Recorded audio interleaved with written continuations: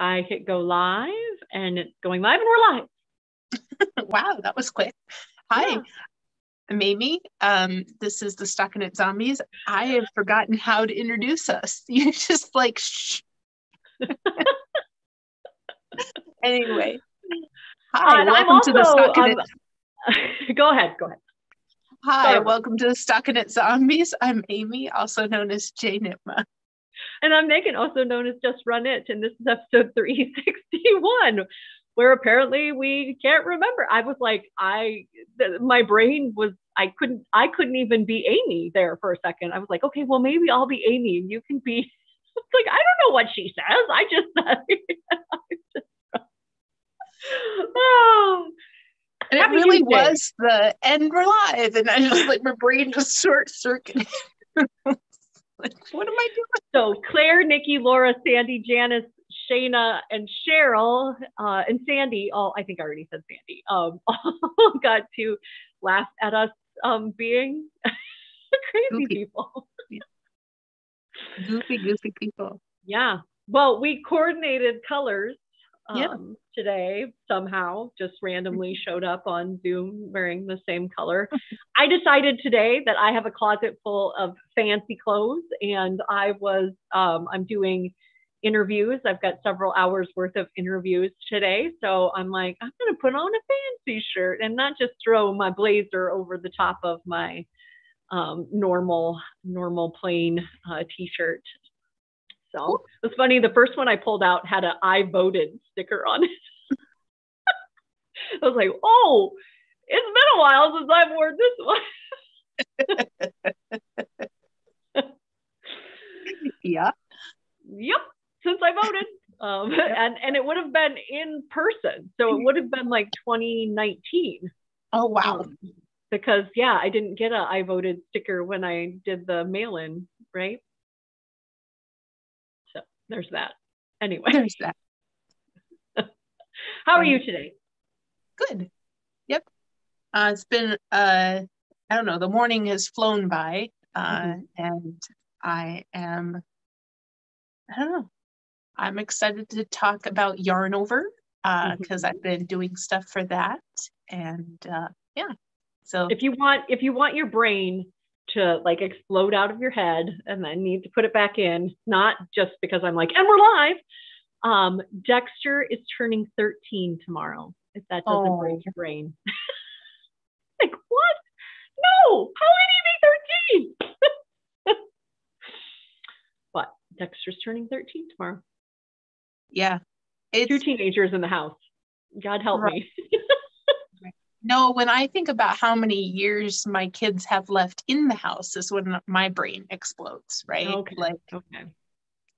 Yeah. Like I only a little two and a little bit over two years in you know school and they're my oldest is done and then the younger two years after that so yeah i only have like well, four years left yeah. Well my so my coworkers are all about this because we're unlike you being on site right like we're all remote right? So they're all like this weather right? It's horrible. Mm-hmm. like i'm going to go to arizona and work you know from anywhere in arizona or florida or whatever. And i'm like I have uh, seven years left with Quentin at home, so I'm not working from anywhere for at least seven more years. They have they have schools in Arizona, and I'm like, yeah, because that makes a lot of sense. When it's nice outside in Minnesota, we you go to school here in Minnesota, and then when it's horrible outside, then we go to Arizona. I don't think that's how that works, but yeah. might want to do school activities. Yeah. Anyway, all of that to say, I'm hoping that the work from anywhere is still an option by the time we get to the point where we can just pack up and go somewhere warmer because it's an unusually cool April. But. Right, right. Yeah, it is really cold out today. I am wearing one step up from what, you know, like I leveled up my coat this week. Mm-hmm. like I was trying to level them down and then I had to level them yeah. Yeah, Christy Socknubbins posted in Discord, which is, uh, every year uh, you see it as the memes, um, the Miss Congeniality. What's your favorite date or what's your ideal date? And um, it's April 25th. Yes, because it's not too cold. And then it's like, oh, it's really cold today. Actually, it was like like high of 30 here today. You're not wearing just a nice light jacket um, yeah. today, but yeah, always got to laugh about that. Sometimes we have nice end of April, right? Yeah, in Discord, I started to do the the picture countdown with the Giphy. Mm-hmm. So I don't know how many times that's going to work, but it worked twice already. So, like, just type in the number and see a, mm-hmm. a Giphy that works. Uh, that might not happen, or they might all start being football players because that seems to be the consistency. Doing dances, doing dances. Yeah. yeah. Yeah. Laura in Minnesota says that she put botanically dyed yarn outside yesterday and it froze. Oh no. I believe that. I do believe that. Yeah. Uh, so um yeah. I was just gonna say that I got our banner and I posted that on Instagram. So yeah. I will have that at Yarn Over. Uh, yeah. That is this Saturday. It's not often that you and I get to order things and have them come and like show them to people, right? Because often it's like ZK swag where we have to wait. Um, but yeah, to have that immediate like buy it, ship it, get it, show it, use it, whew, that's got to be fun. yeah. Well, it wasn't even ship it. I got a local printer. So like I got to pick it up and like, I don't know, it was so quick. I was yeah. happy for that. Yeah, absolutely. You got to level up with that background with the printed green background, which was fun. Yep. Um, yep but yeah, we are both super excited. Like it has been the wind in my sails for the last couple of weeks as I've been thinking about it going up to um, Minneapolis for Yarnover. Yeah. yeah, you get to teach, and mm-hmm. I will just sit there and knit all day trying to finish my my objects because I have two more uh, frenemies to finish. mm. Well, my my two topics are two things that are near and dear to my heart, and obviously something I'm super passionate about. So I'm super excited about it. Um, I'm teaching a class about the love of socks, which, if you know me, you know I love socks, and I could probably talk all day about it. It's only it's only the first half of the day, um, and get to deep dive into that, and super excited. And then the second half is Tunisian crochet, which is just I'm uh, yeah.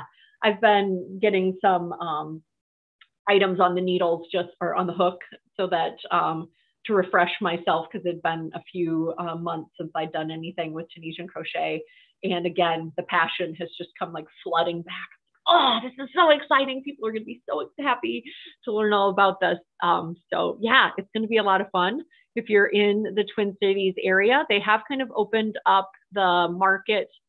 It's going to be um, like you have to pre-register for sure um, to get a for sure spot, but then they're going to let people in, I think, um, kind of prior to that. So they're trying to do a little of, of or after that, they're trying to do a little cl- crowd control. So, okay. From what I, I just understood. know when I need to show up. well, again, really they're trying to make sure that it's not, you know, crazy bonkers there. So I think that you just sign up for like a free entrance, right? It's just kind of pre-registering to go to the mm-hmm. market. Um, and then the classes have already been, um, that registration has passed. But um, yeah, go visit Amy in the market and um, she'll have some goodies there. And uh, I'll be around in, in the in-betweens of the um, of my classes. So Yep. Yeah, I'm I'm excited. I think I'm in the same room as Jeanette, so. Sun Valley Fibers. So I'll get to wave across the room at her uh, all day. And George. yeah, and George. so that'll be fun. And uh-huh. yeah, I'm I'm excited to. I don't know. It's my first one. I will be mm-hmm. there talking about uh, our retreat marketplace and also uh, trying to get people excited about um, ZKN and all the awesome things that we have going on there. And I feel like, um, like knit stars. It's like, hey, we got all these knit stars here. You yeah. know, like uh, I think season seven has Anne and um and Zandy and yeah, so yeah. We we know those knit stars. we do, we do indeed. They're in our backlog of content if you're if people are interested. But um yeah, no, I agree. It's um, when I went back and looked, kind of, you know, we've been doing ZKN. Uh, it'll be two years here in August, July, um, mm-hmm. and uh, yeah, we've we've got some great folks, you know, um, established folks that have come and, and spoken with us, and then folks that have been rising stars, you know, ever ever since. So um, kind of uh, we knew them when, right? Yep. We had uh we had Sarah and her gnomes on before there was the year of the gnome. yeah. Yeah. Yeah. So, no, it's yeah. been really exciting. Yeah, absolutely, absolutely super excited about that. Super excited. I'm taking the taking Friday off. Might try mm-hmm. to hit some um some LYSs on the way up since I haven't been to an LYS in quite some time. Not since Northfield when I was visiting uh, or was looking at the um, Janice's Queen City Yarns spread. Um, mm-hmm. And I didn't buy anything while I was there. Um, so yeah, super excited to to have a little bit of time away from work as well. I didn't I didn't just say that aloud, did I? I think I think we can all uh, appreciate that some time away. Yeah. Um, well, and again, but, you know, world's smallest violin or whatever. I did just get back from Costa Rica, but I feel like I don't feel like I know I've been working like 60 hour weeks since I got back from Costa Rica. So kind of crazy, kind of crazy. Yeah. But yeah, this week, tips and tricks. Um, I will definitely, oh, uh, speaking of ZKN, and you knew them when, um, have gotten the, the May 14th, I think I pre-announced uh, the knit strip folks um, last week, but I'll hold their book up again. Um, I'm deep diving into it and learning more about the interactive knitting, which has been super awesome. Uh, really love the format of the book and kind of some of the thought process behind interactive knitting. In fact, I think uh, that kind of dovetails into some of my tips and tricks, which is kind of making the knitting work for you rather than you having to be very rigid in the knitting, right? So, one of the more powerful statements in the book is about gauge and how normal gauge, normal patterns gauge. Um, your fabric has to follow the the gauge but an interactive knitting, gauge follows the fabric. Mm-hmm. Think about that one.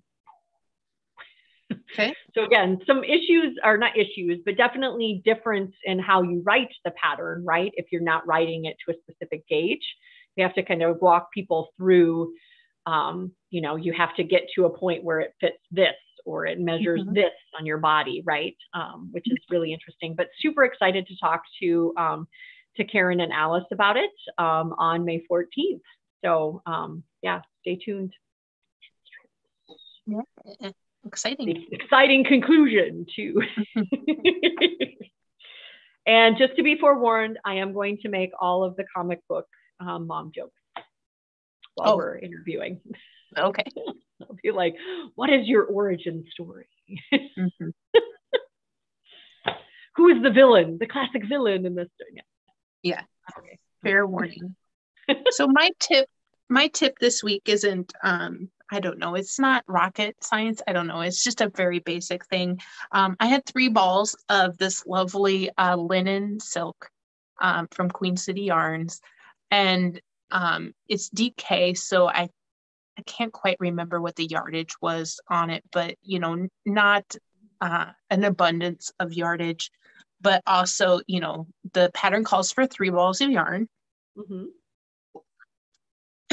so I had knitted most of the back and needed to pick into that second ball to get to the bottom here for this lovely hem. Uh, it's a double knit hem. I love how this looks. Mm-hmm. Um, and it's got a lot of lovely drape but I was a little concerned with how much yarn I would have.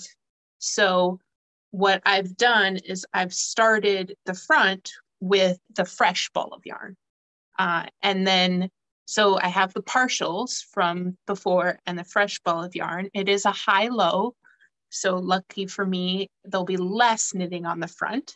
Mm-hmm. And um, so I'm just making sure that I get enough um, length uh, from this first uh, ball, or what I want to say, the third ball, basically, uh, in order to make sure I have enough for the rest of uh, the sweater.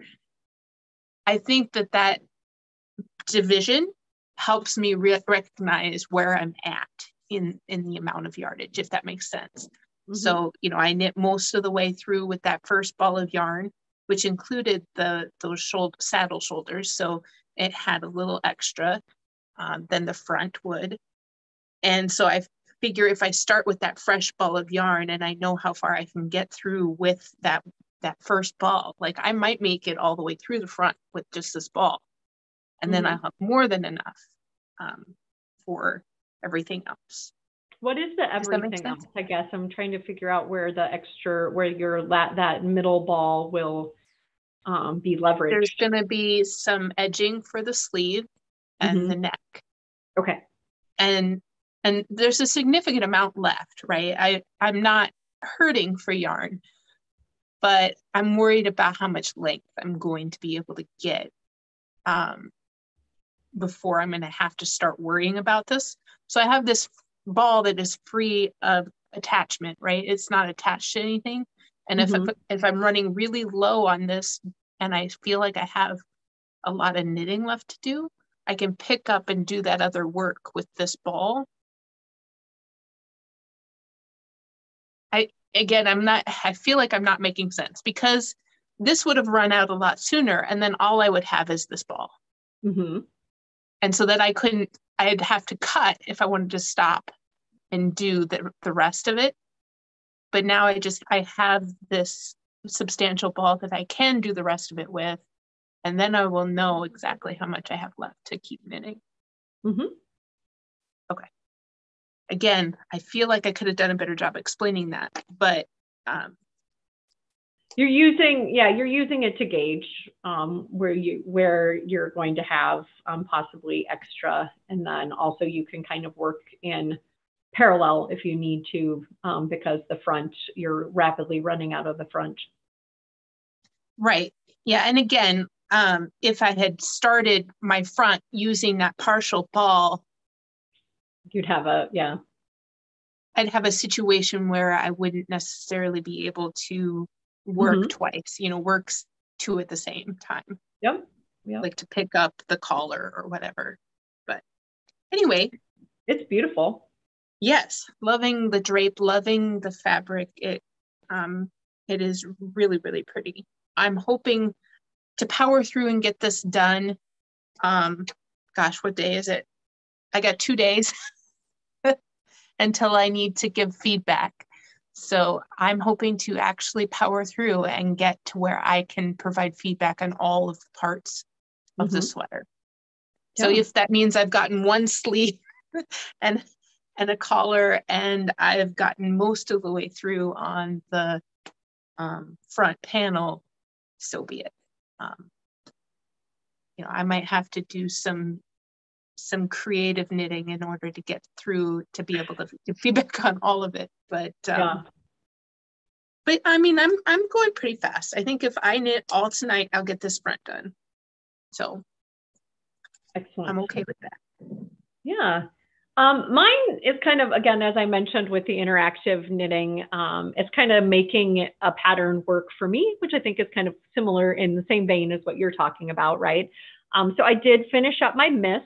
Um, I'm not to, I told myself I'm not going to turn this into a finished object episode, it for me anyway. It really, um, I'll talk about it in finished objects, um, but the neckline was really wide. I think I added an additional, so you can kind of see where some of the short rows end, like here. So I added an additional on both sides here and, and pre-blocking, it was very wide on me, right? So I was like, oh, if this gives a little bit, it's going to end up being a flash dance, like off shoulder thing. Um, so I don't often knit uh, patterns from the, or from the bottom up, starting with the widest part is not my favorite. Like I like uh, toe up socks because you start with a small number of stitches and an increase. And in general, I like raglans or top downs because you smart, start with a small number of stitches and you increase. Um, but with a bottom up sweater like this one, um, which has been Mist by Lesley Anne Robinson out of her brioche, um, her brioche book uh, that she came and talked to us. Uh, you do have the option when you're here of going like, oh, I'm going to three needle bind off more stitches because I want the neckline to be skinnier versus like, or, you know, have less width. Um, and uh, rather than kind of getting down here and going like, oh, well, I mean, there's still ways to make it work. Don't get me wrong, right? You can pick up and add additional, um, you know, ribbing or an edging around the, if I had started this from the top down, um, or, you know, seam a little bit more um, up kind of after the fact. But, you know, making it work, making it work for you and putting in a neckline where you're going to be um, comfortable wearing it, right? There's nothing worse than wearing something and being so very proud of it, but also being super self conscious because you're like, oh, this is so wide on my shoulders relative to what I normally do. So, um, and again, not going to do finished object talking about it. Had a very similar situation. So apparently, I I am a very wide shouldered person. Um, like my uh, when we did the um, the oh why can't I think of Amy Herzog fit mm-hmm um, class. Like I can set a piece of paper on my shoulder. Like things generally fit me like they do on a hanger. Like I have wide, flat shoulders, not sloped shoulders. Um, but apparently, I like my necklines to be a little closer um, and less far out on my shoulders. Um, so I did. I also finished um, my Rockefeller and I blocked it. Um, prior to blocking it, again, I had a very like so you can see here, this is where it was supposed to end. This was kind of the saddle shoulder that I added up at the top with some short rows. So it was very, very like towards the, the, the bump on my the top of my arm wide. Um, and I just added some short rows um, and added a little um, consumed these stitches and mm-hmm. added a little um, saddle shoulder to it, consuming those side stitches um, in in motif. Um, and really like it. It it maybe doesn't show off as much of the I cord mm-hmm. Um, because it's a little closer, right? Like the I cord was supposed to travel from like basically over here to over here. Um, so maybe a little less dramatic with the I cord, but made it work, right? Made it work for me, and I like the way that it looks um, on me and on Peg, um, my dress form. Uh, and then similarly, because this was from the bottom up, um, I was concerned about the bottom flaring. There was only a couple of rows of, um, of garter here. So after I got done, after I knew that I hadn't run out of yarn and after I had done all of my shoulders, whatever, I went back and picked up along the bottom. I don't know if you're gonna be able to see it or not. You can a little bit. So this is where it originally was. And I just added a few more rows of garter to get it to lay down um, because it was, was curling. Um, and that's always an option as well. You can pick up stitches and, and do add a little bit of garter, especially with garter. I feel like with ribbing, you can do it too it, it can be mm-hmm. fairly invisible with ribbing, right? But with garter, I felt like it was super easy, right? You just pick up as if to knit and then the next do a round of, of purling and then um, and add to it. But I'm not going to turn this into a finished object episode, but making things work, right? Um, kind of going like, this is what the pattern told me to do, but I'm going to say that um, I don't like the way that this is laying or it's too wide on my shoulders. I'm going to add, add um, ad lib a little bit here, which mm-hmm. sounds like, I mean, you weren't instructed to do what you're doing with your yarn either, right? You're, you're ad libbing. Right. Yeah. I mean, I, I am following the pattern, but yeah, I, I just, the way that I use the balls of yarn to try to yep. gauge where I might end up. Mm-hmm.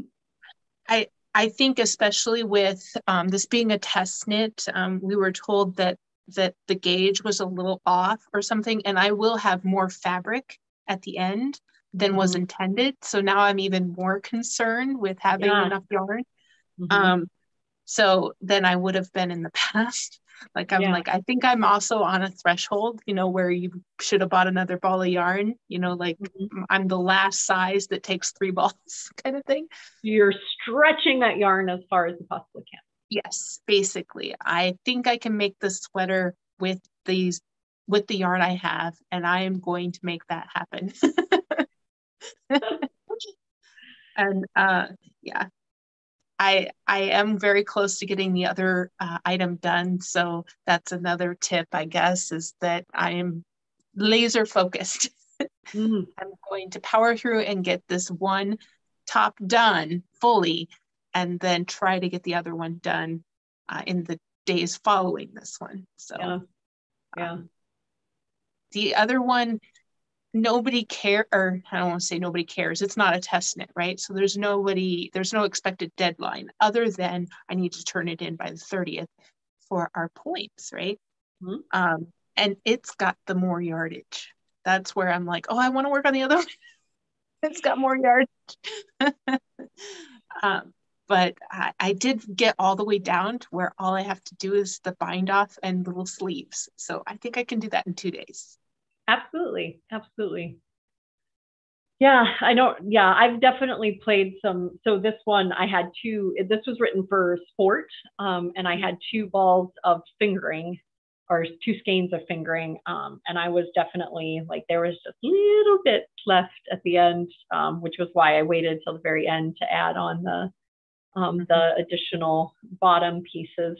Um, and this took a little bit more yardage as well, adding on the, mm-hmm. um, the shoulders, but I always am eat, trying to eke out as much underarm length as I can um, because I've got um, a longer torso.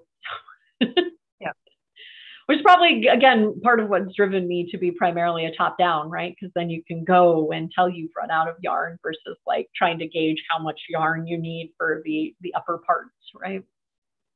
So, absolutely. So, I guess. Yeah. I just want to mention again, come to Yarn Over. I am going to have little things on uh, to hand out. Um, mm-hmm. If you've been with us a long time, you might have seen them before, but um, they're still fun and uh, you can come by and see me, get a notepad. Tell people how awesome thing, how how much fun you have here. you don't have to. You don't have to do that. no, I mean, main, mainly the idea is to um, just feed our presence, right? This is a marketplace. Um, yeah. We want to bring those people down to Rochester in June to shop our marketplace and yeah. our yarn truck rodeo. So um, just making sure the word gets out there and um, yeah. Uh, yeah. it's something new. We haven't done it before, and I'm excited to do it and try to drive more. Um, In my mind, I just was, I was just imagining the hair club for men, right? Not only am I the president, but I'm also a member. right. Right. Yeah. All right. Yeah. Bye. Bye, like, did we forget how to say goodbye to?